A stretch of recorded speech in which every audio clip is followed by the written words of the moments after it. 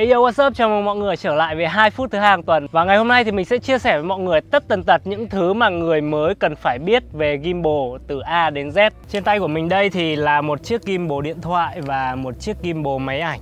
Thì mình sẽ chia sẻ cho mọi người một cái bước chung khi mà dù cho mọi người sử dụng gimbal điện thoại em dù mọi người sử dụng gimbal máy ảnh Thì chúng ta đều cần phải thực hiện bước đầu tiên đó là cân gimbal thật là chuẩn. Khi mà mọi người cân lệch ấy, sờ motor dùng được chỉ cần 5-10 phút thôi sẽ thấy nó cực kỳ nóng, cực kỳ dễ dẫn đến việc là hỏng gimbal. Thế nên hôm nay mình sẽ chia sẻ mọi người bước đầu tiên, đó là làm sao cân gimbal thật là chuẩn. Và bước tiếp theo là một vài mẹo để mọi người sử dụng gimbal thuận tiện hơn nhé. Với gimbal máy ảnh thì đầu tiên mọi người sẽ cân trục ngang nhé. Làm sao để cho máy nó giữ thăng bằng ở trục ngang như này. Thì hiện tại mọi người thấy là nó đang bị đổ sang bên này này. Thì mình sẽ mở cái trục đằng sau Và mình sẽ đẩy nó sang bên phải. Đó. Đấy, cho tới khi nào mà cái trục ngang của nó thẳng đứng như này là ok này. Tiếp theo thì mình sẽ mở trục này ra và mình sẽ xem là máy có bị đổ trước sau không. Hiện tại là mọi người sẽ thấy là máy nó đang hơi bị nặng đằng trước này.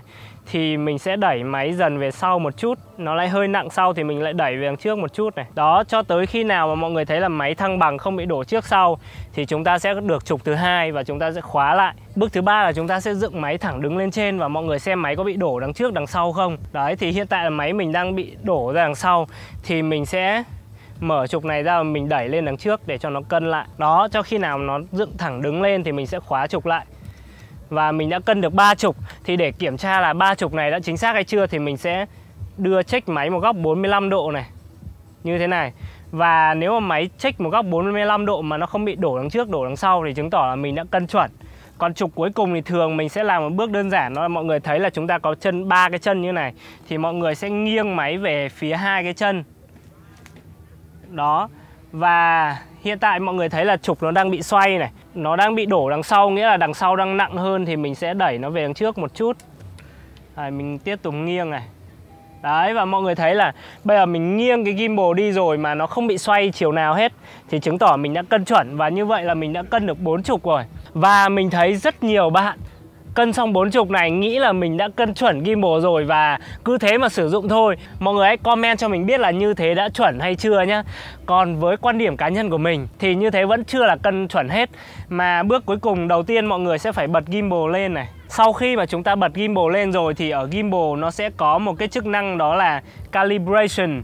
Thì chúng ta sẽ phải nhấn nút calibration để cho máy nó tính toán trọng lượng của máy và len, làm sao nó sử dụng lực tối ưu nhất cái bước này là bước bắt buộc mọi người phải làm luôn nếu mà mọi người cứ đổi len một cái là mọi người nhớ phải calip lại luôn như vậy thì sẽ giúp cho gimbal chúng ta hoạt động được chính xác và năng suất nhất mà nó cũng không hại đến gimbal. Mình mới được Tokyo cho mượn một con Osmo Mobile 6 đời mới nhất. Thì hôm nay mình cũng sẽ test luôn cho mọi người xem sao nhé.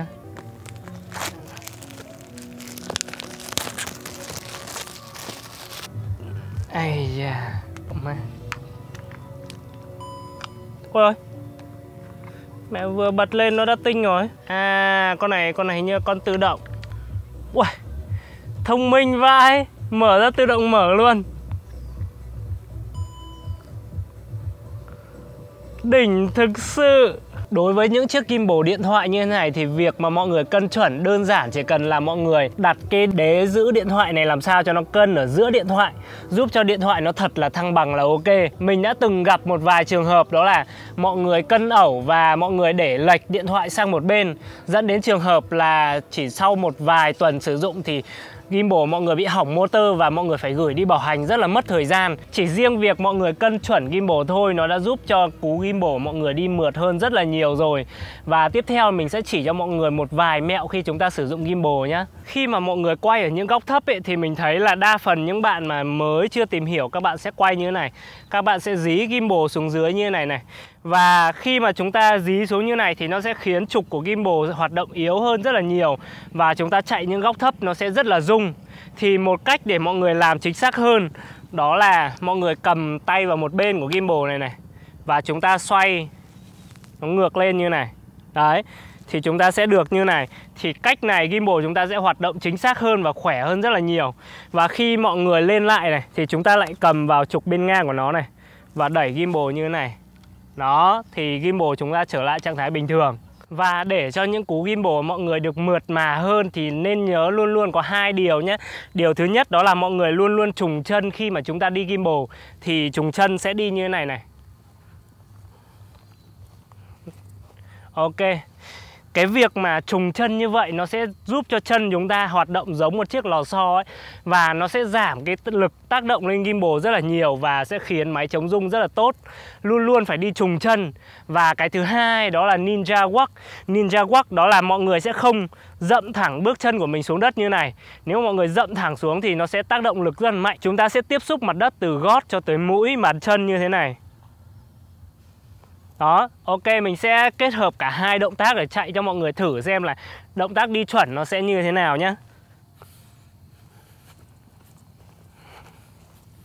Nếu mà mọi người muốn tìm hiểu về các cú máy để quay gimbal cho đẹp ấy thì mình đã có riêng một video ở đây rồi thì mọi người có thể kích đường link ở đây để mọi người tìm hiểu tất cả các cú máy nhé.